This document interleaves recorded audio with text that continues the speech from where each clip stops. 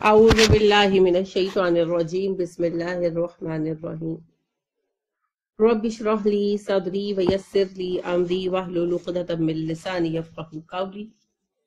واجعل لي وزيرا من أهلي. ربي زدني علما. ربي زدني علما. ربي زدني علما.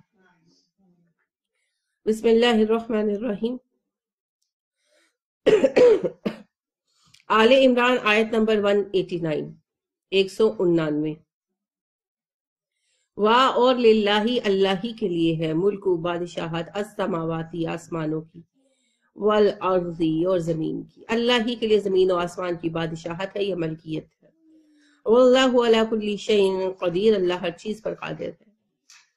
آپ کو پتا ہے نا منافقین کی بات چل رہی تھی کہ اللہ نے کہا جو لوگ اپنی ایسی چیزوں پر تعریف کروانا چاہتے ہیں جو وہ کرتے نہیں ہیں۔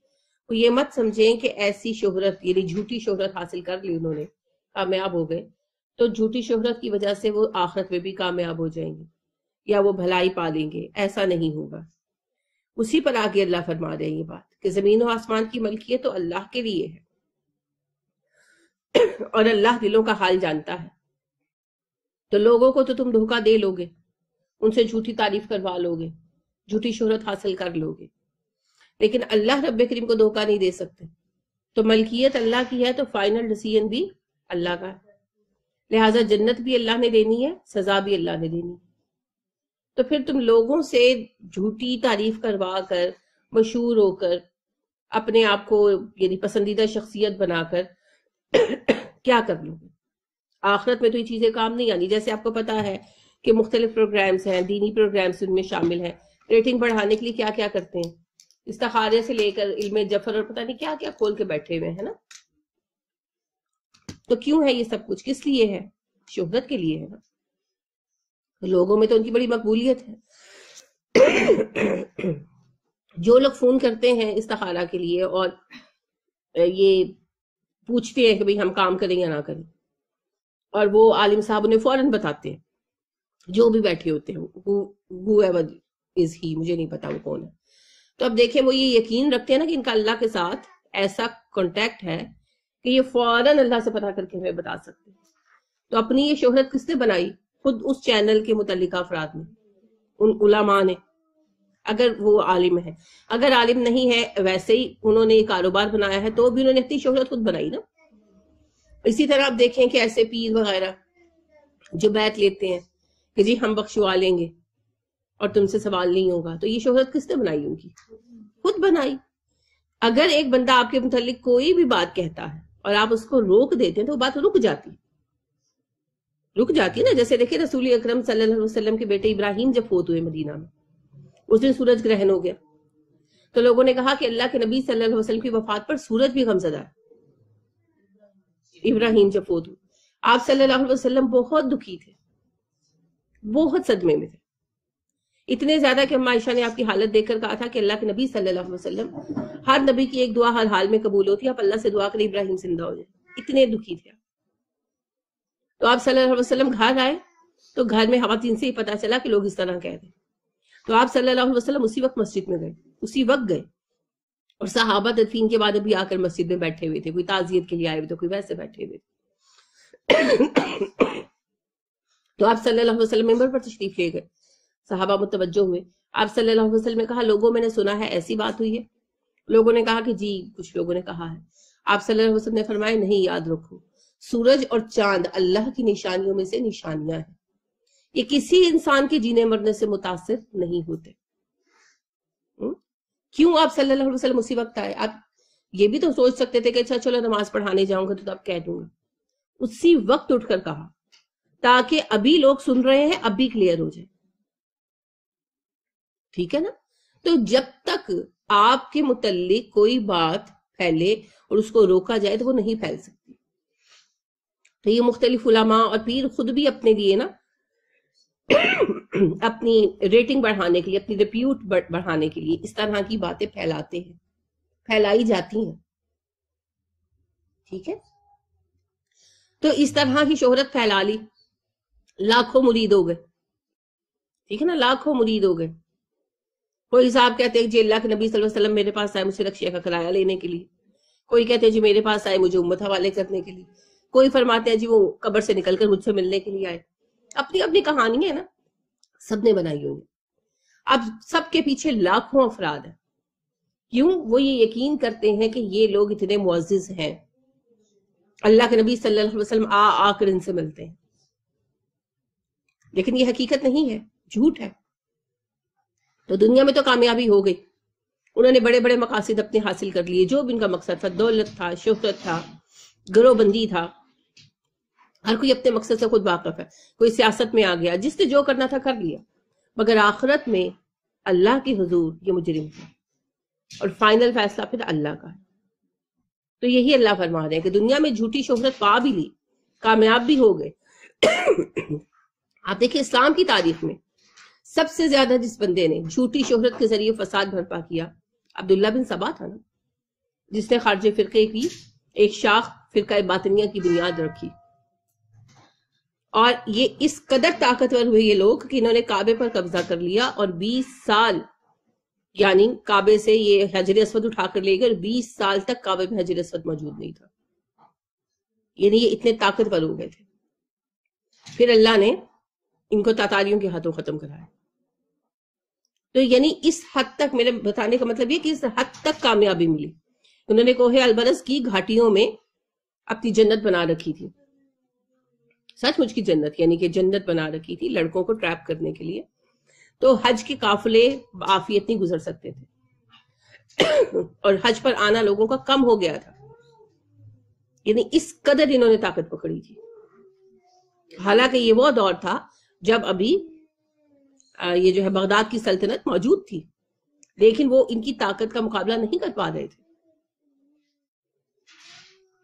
تو کیا ہوا؟ سازش بنائی، سازش میں کامیاب ہوئے۔ مسلمانوں کو نقصان بھی پہنچایا پہنچایا۔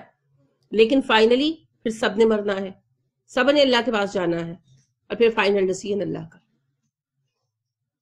تو یہ جھوٹی شہرتیں فائدہ نہیں دے گی۔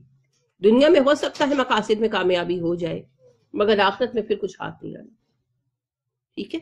یہی اس آیت کا میسج ہے۔ انا بلا شک و شبہ فی خلق السماواتی پیدائش میں آسمانوں کے والرزی اور زمین کے۔ واختلاف اور اختلاف میں اللہ نہار رات اور دن کی لا آیات نشانیاں ہیں الباب عقل مندوں کے لیے۔ بے شک زمین و آسمان کی پیدائش میں، رات اور دن کے آنے جانے میں نشانیاں تو موجود ہیں، مگر یہ نشانیاں ہیں عقل مندوں کے لیے غور و فکر، تفکر، اسی کے ذریعے ہم اصل میں اللہ کو پا سکتے ہیں۔ اور ہدایت کو پا سکتے ہیں، کیونکہ ہدایت کے انحصار اس بات پر ہے کہ اللہ ہم سے حساب لے گی۔ اگر ہمیں اللہ کے حساب لینے کا یقین نہیں ہے، تو پھر ہدایت پانا بہت مشکل سامنے ہوگی بھی تو ہم نظر انداز کر دیں گے۔ کیونکہ ہر انسان پھر ایش پرستی کی طرف جاتا ہے نا۔ فطرتاً انسان میں ایش پرستی ہے۔ تانا سانی کام نہ کرنے کی خواہش، مزہ اڑانے کی خواہش۔ یہ انسان کی فطرت میں ہے۔ تو جب ہم نیکی کے رستے پر چلتے ہیں تو ہمیں اپنی خواہش قربان کرنی پڑتی ہے۔ بڑی باتوں کو چھوڑے ایک نمازی پڑھنے کے لیے۔ اٹھنا پڑتا ہے، وضو کرنا پڑتا ہے۔ آپ کو کوئی تھوڑا بہت درد بھی ہے، سر دکھ رہا ہے یا بخار ہے، تب بھی آپ اٹھ کے پڑھتے ہیں۔ تو اپنا آرام قربان کر کے ہی کرتے ہیں نا نیکی۔ ہر نیکی کے لیے تقریباً یہی چیز چاہیے۔ تو اب نیکی کے لیے وقت دینا پڑتا ہے، قربانی دینی پڑتی ہے۔ جیسے آپ لوگ آتے ہیں تو اپنے کچھ نہ کچھ کام چھوڑ کر آتے ہیں۔ اس کے علاوہ گھروں سے اٹھنا، چلنا، آنا، ہے نا، ایک زحمت ہے۔ تو یہ سب کیوں کرتے ہیں؟ اللہ کی رضا کے لیے۔ کیونکہ ہمیں یقین ہے کہ ایک دن اللہ نے ہم سے حساب لینا۔ تو اس یقین کے بغیر کوئی بندہ قربانی دے کر نیکی نہیں کرے گا۔ فطری اصول ہے تو اللہ فرما رہے ہیں کہ یہ زمین و آسمان میری ملکیت ہے، میں نے حساب لینا ہے۔ اس کا یقین تمہیں کیسے آئے گا؟ زمین و آسمان میں غور و فکر کرنے سے۔ اتنی بڑی کائنات میں نے بنائی بے سبب تو نہیں بنائی۔ اگر ہم اپنی گیلیکسی کے تارے گننے شروع کریں اور بغیر سوئے، بغیر کھائے، بغیر پیے گنتے ہی رہیں اور ہمیں عمر بھی اتنی مل جائے اور ہم نہ تھکیں۔ تو خالی جو ہماری اپنی کہکشاں ہے نا، ہماری گیلیکسی، اس کے تارے گننے میں ہمیں چھ ہزار سال لگیں گے۔ اتنی بڑی یونیورس ہے کہ صرف اس کی ہماری گیلیکسی بہت چھوٹی گیلیکسی ہے۔ اور ہماری گیلیکسی جیسی دو بلین گیلیکسیز ابھی تک ایسٹیمیٹ کی گئی ہیں۔ اور ابھی مزید ابھی میں نے آپ سے عرض کیا تھا ہم یہ بھی نہیں جانتے کہ ہم یونیورس کے سینٹر میں پہنچے ہیں یا شروع میں ہیں، کہاں پر ہے ہم ابھی یونیورس کا کنارہ دوسرا نہیں دیکھ پائے۔ ہم اسی اپنے کنارے سے جتنا دیکھ پائے ہیں، اندازہ ہے کہ دو بلین گیلیکسیز ہوں گی وہاں تک۔ اور ہماری اپنی گیلیکسی کے سٹارز اتنے ہیں کہ اگر ہم گنتے ہی چلے جائیں تو سارے سٹارز کو گننے کے لیے کتنے آج کتنے سال لگ جائیں گے؟ چھ ہزار سال۔ اس سے آپ سوچیں کتنی بڑی ہوگی کائنات۔ اور ہماری گیلیکسی چھوٹی گیلیکسی ہے۔ ہماری گیلیکسی سے بہت بڑی بڑی گیلیکسیز موجود ہیں۔ کہکشاؤں، ہماری کہکشاں سے بہت بڑی بڑی کہکشائیں موجود ہیں۔ تو اتنی بڑی کائنات کہ اللہ نے بے سبب پیدا کر دی۔ محض کھیل کے لیے پیدا کر دی۔ کیسے ہو سکتا کوئی کام بلا مقصد نہیں ہوتا، ہے نا؟ تو اسی لیے جب ہم کائنات میں تفکر کرتے ہیں تو سمجھ آتی ہے کہ ہر کام ایک لگے بندے اصول کے تحت ہو رہا ہے۔ ویل پلانڈ یونیورس بنائی گئی، تو پھر کسی کے لیے بنائی گئی ہے۔ کوئی مقصد بھی تو ہوگا۔ ٹھیک ہے؟ تو جب یہ سوچتے ہیں غور و فکر کرتے ہیں، پھر انسان مانتا ہے کہ کائنات کا بنانے والا بھی ہے۔ اور کائنات کے بنائے جانے کا مقصد بھی ہے۔ پھر جب اس مقصد کو تلاش کرتے ہیں تو وہ مقصد ہمیں صرف ایک ہی چیز دیتی ہے اور وہ ہے وہی۔ باقی یہ مقصد کہیں نہیں ملتا۔ ٹھیک۔ پھر انسان ہدایت کی طرف آتا اسی لیے اللہ نے کہا کہ تفکر کرو۔ زمین و آسمان میں نشانیاں ہیں۔ رات اور دن کی آنے جانے میں نشانیاں اب بات یہ ہے تفکر کون کرے گا؟ اولی الباب عقل مند لوگ، لب کیا ہوتا ہے؟ عقل۔ لام بے بے روٹ ہے اس کی لب، عقل کو کہتے بقرہ میں بھی آپ نے لفظ پڑھا ہے۔ آپ اردو میں کہتے ہیں لب لباب۔ کیا ہوتا ہے؟ نچوڑ۔ تو نچوڑ کیا ہوتا ہے؟ خاص حصہ ہوتا ہے نا؟ بالکل، جو آپ نے اخذ کیا۔ یہ رحیق المختوم جو کتاب کا نام ہے نا اس کا مطلب یہ نچوڑ۔ سیل بن نچوڑ۔ ٹھیک ہے؟ تو جو لب لب لباب ہے، اس کا مطلب ہوتا ہے نچوڑ تو لب آپ کی عقل کا جو نچوڑ ہے یعنی آپ نے اپنی عقل سے جو سیکھا، عقل سے تو آپ بہت کچھ سیکھتے ہیں نا، پھر کچھ چیزیں ہوتی ہیں جن پر آپ کی زندگی چلتی ہے۔ تو وہ اصول جو آپ کی عقل نے آپ کو سکھائے، جس راستے پر آپ چلتے ہیں، تو پھر اولی الباب وہ ہیں جو اپنے عقل کے اصولوں پر عمل کرتے ہیں۔ اپنی عقل کے نچوڑ کو استعمال کرتے ہیں۔ ٹھیک ہے؟ الزینہ اور یہ وہ لوگ ہیں جو اب عقل مند کون ہے کسی ڈاکٹر، انجینئر کی تعریف نہیں ہونے لگی۔ ٹھیک ہے؟ کیونکہ عقل مندی میں ہمارے ہاں عقل سے مراد ہے اچھا کھانا پکانا، ہے نا؟ اور اچھی سلائی کرنا۔ جو گھر کے کام ہے۔ یعنی اگر عورت سلیقہ مند ہے تو جی عقل مند ہے۔ اگر مرد زیادہ کماتا ہے تو عقل مند ہے۔ یہ بھی عقل مندی ہے۔ کام میں سلیقہ ہونا، مردوں کا اچھا کرنے والا ہونا خوبی ہے، ہونی بھی چاہیے۔ لیکن اسلام میں عقل مند وہ ہے جو آخرت کی فکر کرتا ہے۔ نا؟ تو اللہ رب کریم فرما رہے ہیں، لی الباب الذین۔ یہ تفکر وہ لوگ کرتے ہیں۔ یہ نشانیاں ان کے لیے ہیں جو عقل مند ہیں اور یہ عقل مند وہ ہیں جو یذکرونا یاد کرتے ہیں۔ ذال کاف ری ذکرہ تذکرہ، ذکر اذکار، مذاکرہ۔ کتنا کچھ آپ استعمال کرتے ہیں نا۔ مذکر مولس مذکر میں کرتے ہیں نا، مذکر، تذکیر، ذاکر، نام بھی ہے ذاکر۔ ذاکر نائک عالم بھی ہیں۔ تو یہ سب ایک ہی روٹ ہے۔ یاد کرونا جو ذکر کرتے ہیں، یاد کرتے ہیں اللہ اللہ کو۔ کیسے جی؟ قیامن قیام کی روٹ کوئی بتائے گا مجھے؟ قاف واو شاباش۔ قوم، قاف واؤ مین قیامن کھڑے ہو کر۔ قیام آپ استعمال کرتے ہیں؟ اردو میں استعمال کرتے ہیں؟ قیام کرنا۔ ٹھہر جانا کے معنوں میں۔ نماز میں بھی قیام ہوتا ہے نا۔ اقبال کہتے ہیں کہ مصرا لکھ دیا کہ شوخ نے محراب مسجد پر۔ یہ ناد آگیر گئے سجدے میں جب وقت قیام آیا۔ تو ہم وہی نادان ہیں۔ خیر، قیام کھڑا ہونا، کھڑے ہو کر۔ وقعودن یہ آپ کم استعمال کرتے ہیں اردو قاف آئین دال۔ آج سے ہے۔ مقعد کا لفظ بھی استعمال ہوتا ہے بیٹھنے کی جگہ۔ اور آدھا، صحیح کہا آپ نے۔ نماز میں جب ہم بیٹھتے ہیں تشہد کے لیے، تو اسے قادہ کہتے ہیں۔ ٹھیک ہے؟ تو بیٹھی ہوئی حالت میں، مراد ہے بیٹھنا۔ وَعَلَى جُنُوبِهِمْ جیم نون بے روٹ ہے۔ پہلو کے بل، کروٹ کے بل۔ آپ ایک سمت کے لیے بھی جنوب کا لفظ استعمال کرتے ہیں نا؟ شمال جنوب۔ ایک طرف ایک سائڈ۔ وہ الا جنوب اپنے پہلوؤں کے بل۔ وہ یہ تفق اور غور و فکر کرتے ہیں۔ ایک کافلے یہ بھی آپ اردو میں عام استعمال کرتے ہیں۔ فکر کا تو لفظ ہم سب کی زبانوں پہ ہے نا؟ مجھے تو فکریں ہی کھا گئی۔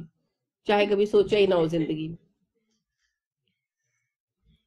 فی خلق السماوات والارض، آسمان و زمین کی پیدائش میں۔ ان لوگوں میں دو خوبیاں ہیں، بنیادی، جو ساری خوبیوں کو سمیٹ لیتی ہے پہلی بات، وہ اللہ کو نہیں بھولتے۔ اللہ کو ہر وقت یاد رکھتے ہیں۔ یہ جو کہا گیا ہے نا، وہ اللہ کو یاد کرتے ہیں کھڑے، لیٹے اور بیٹھے ہیں اس کا مطلب کیا ہے؟ اللہ جنوبی کا مطلب ہے کہ پہلو بدلتے ہوئے مطلب کہ لیٹے ہوئے۔ تو مطلب ہی کہ ہر حال میں کام کر رہے ہیں، کھڑے ہو کر ہم کیا کرتے ہیں؟ ہم بھی کھڑے رہتے ہیں۔ کام کے وقت ہی کھڑے ہوتے ہیں نا۔ کام کر رہے ہیں۔ تو کام کرتے ہوئے بھی اللہ کو نہیں بھولتے۔ ذکر اذکار کرتے رہتے ایک بات، اور اصل بات ہے، دل میں یاد رکھتے کام کرتے ہوئے تو اللہ کو یاد رکھنا یاد رکھنا۔ تجارت کر رہے ہیں تو بدیانتی نہ کریں۔ نوکری پر ہیں تو جلدی واپس مت آئیں۔ اپنا کام پورا کریں، رشوت مت مانگیں۔ یہ سب کام کب اور کیسے ہوں گے؟ جب اللہ یاد ہوگا۔ جسے رب یاد ہوتا ہے نا، وہ پھر ہر امتحان سے گزر جاتا ہمارے پورے معاشرے میں اتنی بدعنوانی کیوں ہے؟ کیونکہ اللہ یاد نہیں ہے۔ جس وقت ایک بندہ موبائل کھولتا ہے یا گھڑی کھولتا ہے آپ کی، اور اس میں سے آپ کا پرزا نکالتا ہے، تو وہ یہ بھول جاتا ہے نا کہ اللہ دیکھ رہا ہے، اور اس کے بھیجے ہوئے فرشتے بھی معمول ہیں۔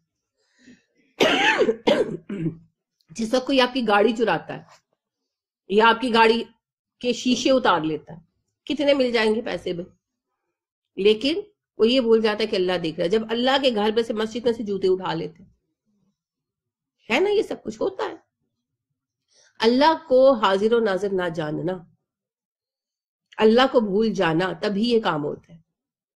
اگر اب یاد ہو تو پھر ایسی حرکت کوئی نہیں کرتا۔ ٹھیک ہے؟ اسی لیے آپ دیکھیں کہ صحابہ کرام رضی اللہ عنہم علیہ مجمعین جب مال غنیمت بھی لے کر آتے تھے تو ایک ایک بندے کے اوپر نگران تو نہیں ہوتا تھا۔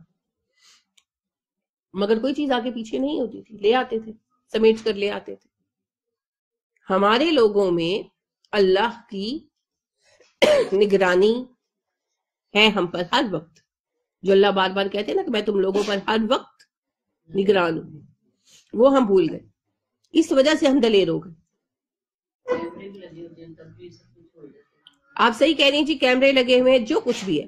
آپ بھول جائیں کیمروں کو۔ رب کریم ہر وقت دیکھ کیونکہ تقوی یہ نہیں ہے کہ میں چوری اس لیے نہیں کر رہی کہ کیمرہ لگا میں پکڑی جاؤں گی۔ تقوی یہ ہے کہ میرا رب دیکھ رہا ہے، مجھے جواب دے۔ میں اس لیے چوری نہیں کر ٹھیک ہے؟ ابھی آپ کو پتہ ہے، انہوں نے ٹریفک کے لیے کیمرے لگائے تو کوئی اوور اسپیڈنگ کر رہا ہو تو بعد میں گھر آ جاتا ہے، بل۔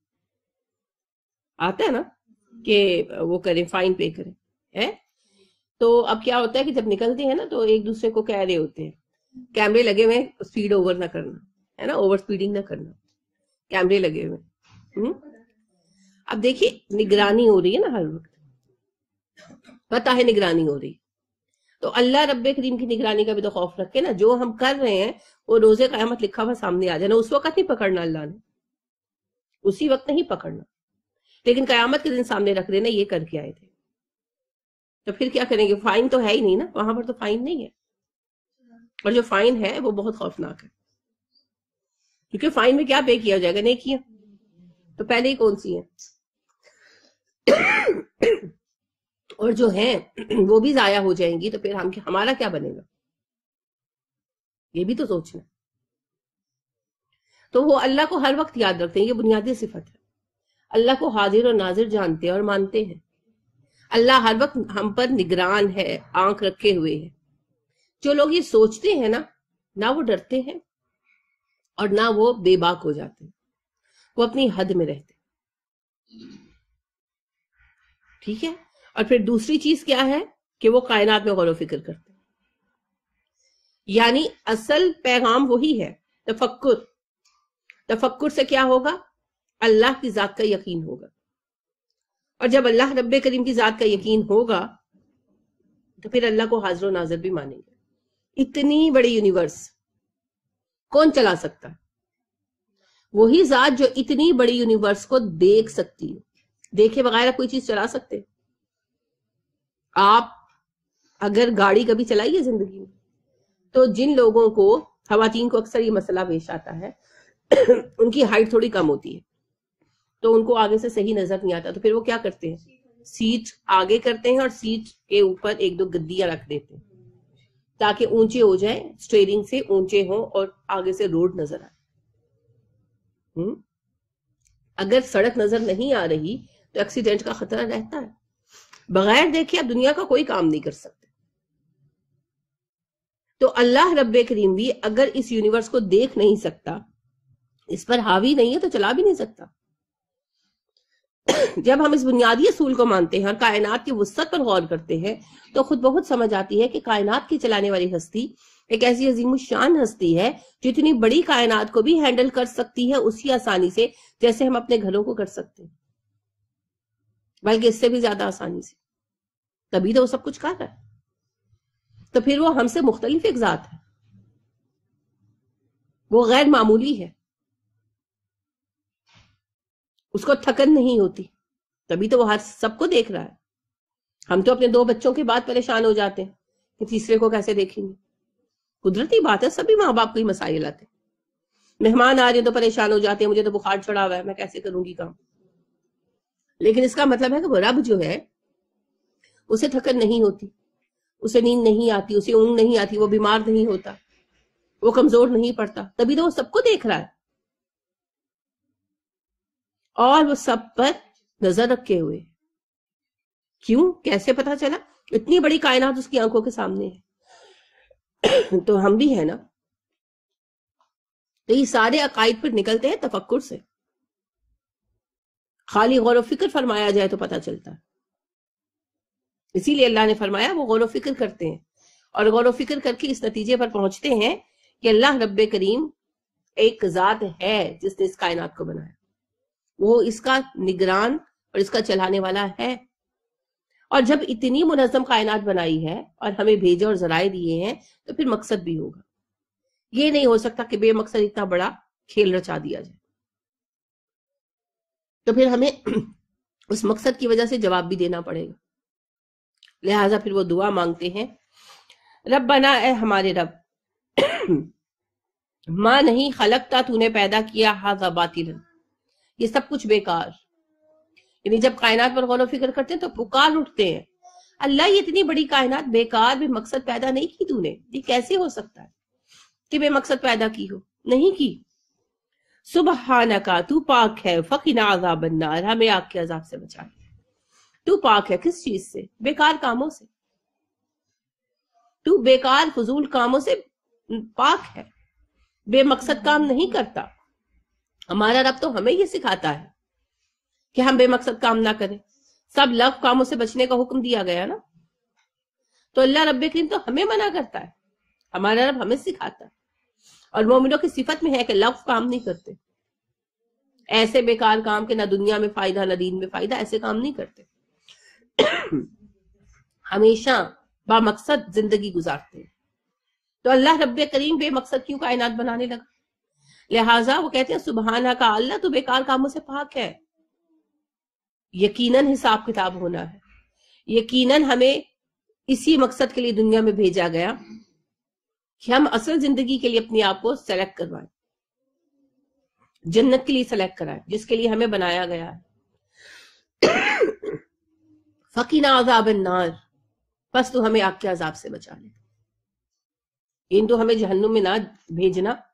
ہمیں ایسے اعمال کی توفیق دے کہ ہم اہل الجنہ میں شامل ہیں ہم اس زندگی کے لیے سلیکٹ اچھا یہاں ایک اہم بات کیا سمجھ آئی کہ اللہ کوئی چیز بیکار پیدا نہیں کرتے۔ تو آپ کو نہیں لگتا کہ جو جنت کا تصور آپ نے سیکھا ہوا ہے وہ بیکار ہے؟ نہیں لگتا۔ بس باغوں میں بیٹھے ہیں اور شرابے پی رہے ہیں اور کنیزوں ناچ رہی ہیں۔ یہی تصور ہے نا؟ جو گھروں میں سیکھا ہے، وہ تو یہی تصور ہے نا۔ تو اس جنت کا پھر کیا مقصد ہوا؟ جو اس زمین سے بھی بڑی ہوگی، اس یونیورس اتنی ہوگی، ہمیشہ کی زندگی ہوگی، اختیار ہوگا۔ تھکن نہیں ہوگی، بیماری نہیں ہوگی، بڑھاپا نہیں ہوگا پوچھ نہیں ہوگی۔ تو پھر وہ کس لیے بنائی پھر؟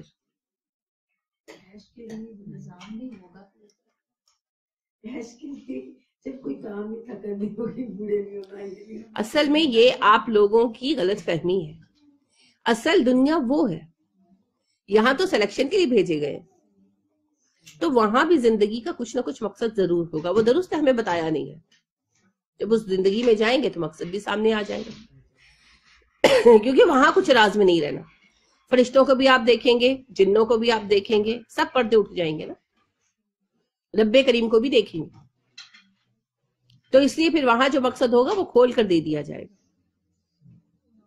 اس مقصد کو کام جو بھی زندگی کا مقصد ہوگا، جس لیے بھی جیئیں گے تھکن نہیں ہوگی، بڑھاپا نہیں ہوگا، کام میں مشقت نہیں ہوگی، لیکن بیکار نہیں ہوگی وہ دنیا۔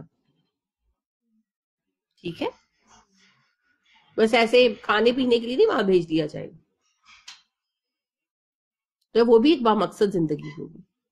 کیونکہ زندگی میں سب سے بڑی تکلیف دہ بات یہ ہے، زندگی میں مقصد کا نہ ہونا۔ اسی لیے قید تنہائی سے بڑی کوئی سزا نہیں ہے۔ دن گزارنا مشکل ہو جاتا ہے۔ کیا کریں اب رات گزارنی مشکل ہو جاتی کیا کریں تو جنت کی زندگی ایسی نہیں ہوگی مقصد کے بغیر زندگی بے رنگ ہوتی ہے۔ وہ بے رنگ نہیں ہوگی۔ ٹھیک ہے؟ آرام سے بیٹھنا بھی بالکل۔ زیادہ دیر کے لیے۔ ابھی ہم لوگ کام کرتے ہیں اس لیے محسوس ہوتا ہے کہ اب آرام کریں گے تو بڑا مزہ آئے گا۔ جب آرام سے بیٹھے تو وہ بڑا تکلیف بھی ہوتا ہے۔ صحیح کہہ رہی ہیں پر تھوڑی دیر بعد آپ بور ہو جاتے ہے نا؟ چھٹیوں میں سب سے بڑا مسئلہ کیا ہوتا ہے؟ بوریت۔ بوریت۔ تو اللہ رب کریم جنت میں ہمیں با مقصد زندگی ہی دیں گے۔ لیکن کام میں تکلیف نہیں ہوگی، تھکن نہیں ہوگی، بڑھاپا نہیں ہوگا۔ ٹھیک ہے، اور وہ مقاصد کیا ہوں گے؟ وہ بھی پھر جب انشاءاللہ جنت میں جائیں گے تو پتہ بھی چل جائے گا۔ اللہ ہمیں جنت، اہل الجنہ میں شامل فرمائے۔ آمین۔ وہ دعا مانگتے ہیں، ربنا، اے ہمارے رب انہ کا بے شک تو، من جس کو تو دخلا تو داخل کرے، انارا، آنکھ میں فقط تو بے شک اخزیتہ تو نے اسے رسوا کر دیا۔ اللہ جی جسے تو نے آگ میں ڈال دیا تو وہ رسوا ہو گیا۔ ٹھیک ہے نا؟ یہ سب سے بڑی رسوائی ہے۔ سب سے بڑی ناکامی ہے۔ وما للظالمین من انصار اور ظالموں کا تو کوئی مددگار نہیں ہوگا۔ روزے قیامت ظالموں کو کوئی ہیلپ نہیں کرے گا نا۔ جنہوں نے گناہ کیے، جنہوں نے نافرمانیاں کی، جنہوں نے دین کا مذاق بنایا، ان کے کوئی کام نہیں آئے۔ تو اللہ رب کریم کی طرف سے سزا ملے گی اور جہنم میں جائیں گے۔ تو جہنم میں جانے سے بڑی کوئی رسوائی نہیں۔ لہٰذا دنیا میں بعض اوقات ایسا ہوتا ہے نا کہ دین پر چلنے میں کچھ ایسے مسائل آتے ہیں کہ لگتا ہے ہم رسوا ہو رہے ہیں، لوگ مذاق اڑاتے ہیں، بدنام کرتے ہیں، غلط باتیں کہہ دیتے ہیں۔ تو دل دکھتا ہے، تو اس پر صبر کرنا چاہیے۔ کیونکہ اصل عزت قیامت کے دن ملنی ہے، اور اصل ذلت بھی قیامت کے دن ہونی ربنا اے ہمارے رب، اننا بے شک ہم نے، سمینا، سنا ہم نے۔ منادی یعنی ایک پکارنے والے کو۔ یونادی جو پکارتا تھا۔ لیل ایمانی ایمان کے لیے۔ اے ہمارے رب، بے شک ہم نے پکارنے والے کو سنا کہ وہ ایمان لانے کے لیے پکار رہا تھا۔ کہہ رہا تھا، ان کے آمین و ایمان لے آؤ۔ بھی ربی کم اپنے رب پر۔ اور وہ کہہ رہا تھا، اپنے رب پر ایمان لے آؤ۔ یعنی رسول اکرم صلی اللہ علیہ وسلم۔ فامن نہ تو ہم ایمان لائے۔ ہم نے پکار سنی تو ہم ایمان لائے۔ رب بنائے ہمارے رب فغفر لنا۔ جنوبنا ہمارے گناہ بخش دے۔ وکفر اور دور کر دے، انا ہم سے سیئاتنا، ہمارے گناہ، ہماری خطائیں۔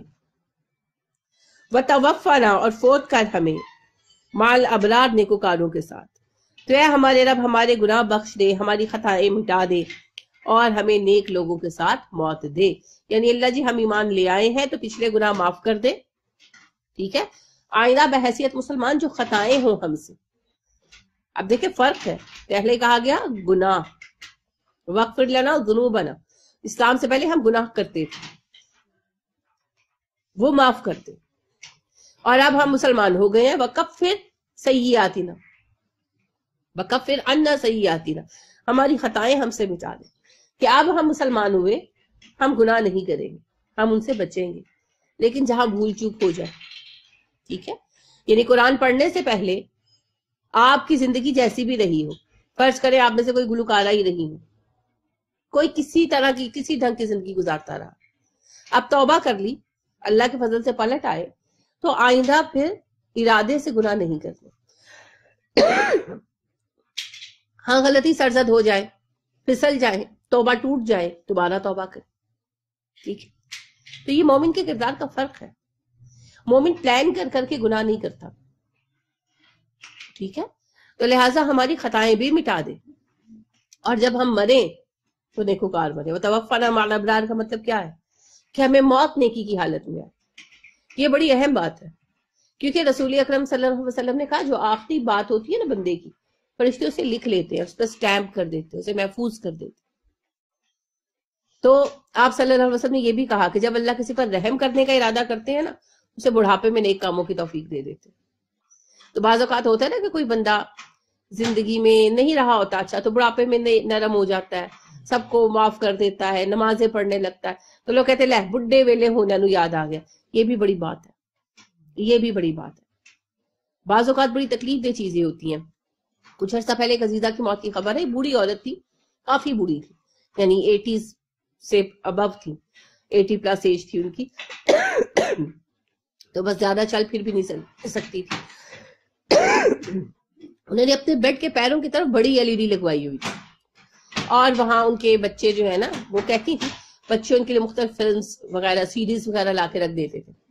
تو وہ سارا ٹائم ان کی چلتی رہتی تھی۔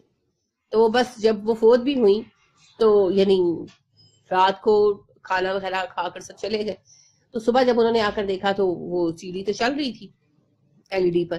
اور وہ ریموٹ ہاتھ میں تھا اینڈ شی ڈائٹ تو مجھے بہت افسوس ہوا۔ تو دیکھیں آخر بڑھاپے میں بھی، آخر عمر میں بھی نیک عمل کی توفیق مل گئی نا۔ یہ بھی بڑی بات ہے۔